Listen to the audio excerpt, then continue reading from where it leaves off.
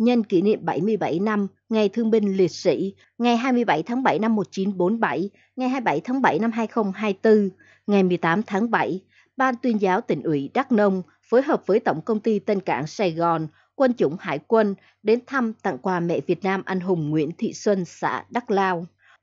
Đoàn công tác đã ân cần thăm hỏi sức khỏe và tặng quà tri ân công lao, sự hy sinh mất mát của mẹ Việt Nam anh hùng Nguyễn Thị Xuân ở xã Đắk Lao. Các đồng chí mong mẹ sống vui, sống khỏe, mãi là tấm gương sáng để thế hệ trẻ và con cháu noi theo. Với đạo lý uống nước nhớ nguồn, cứ mỗi dịp lễ Tết, lãnh đạo Tổng công ty Tân Cảng Sài Gòn luôn đến thăm, chúc sức khỏe mẹ cùng gia đình. Những việc làm, nghĩa cử cao đẹp của cán bộ, người lao động Tổng công ty Tân Cảng Sài Gòn có ý nghĩa nhân văn sâu sắc, thể hiện đạo lý uống nước nhớ nguồn và tô đẹp thêm hình ảnh bộ đội cụ Hồ, người chiến sĩ hải quân.